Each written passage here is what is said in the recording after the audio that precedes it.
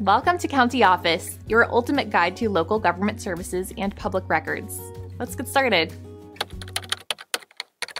Can I claim myself on federal taxes? When it comes to federal taxes, claiming yourself as a dependent is a common question. The IRS has specific criteria to determine if you can claim yourself. Generally, if you are not someone else's dependent, you can claim yourself. However, there are exceptions. If you are married filing jointly, you cannot claim yourself. It's essential to understand the IRS rules to ensure accurate tax filing. Seeking advice from a tax professional can provide clarity on your specific situation. Remember, accurate tax reporting is crucial to avoid penalties or issues with the IRS. NSEN.